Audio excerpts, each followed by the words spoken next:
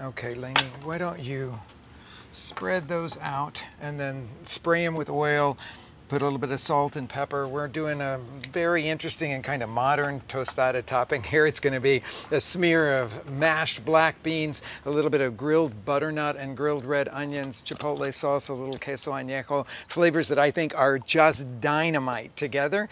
But maybe I didn't ever see anybody do that in any one of the street stalls in Mexico, but it's certainly delicious. So when you're working with butternut, I love butternut. It's a little, well, it's work. You gotta peel it, you gotta cut through it and all of that. So I use a knife to peel it.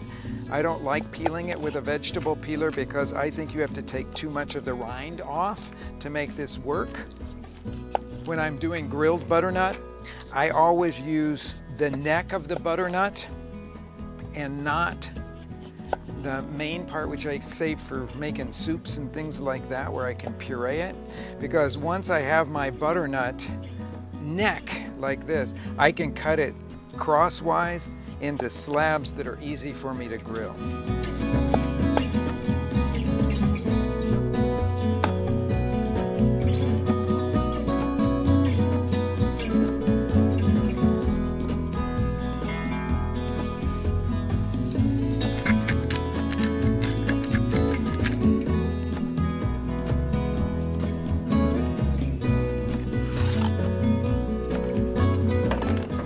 Grill these oil side down right over the charcoal here until they're brown and tender, about five minutes on each side.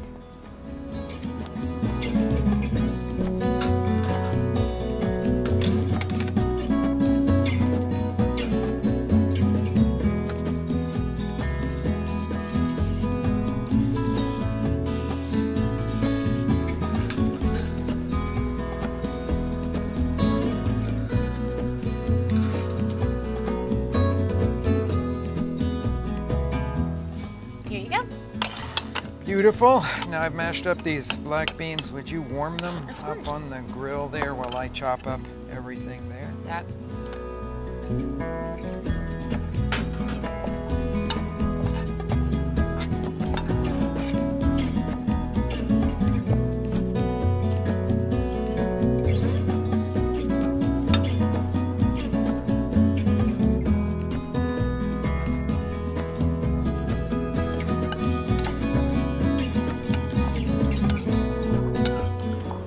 think these are warm enough.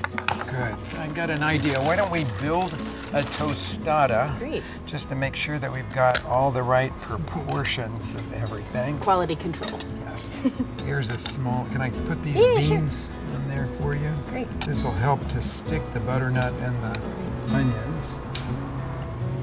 Follow your lead here. Chipotle salsa, a little bit of queso añejo.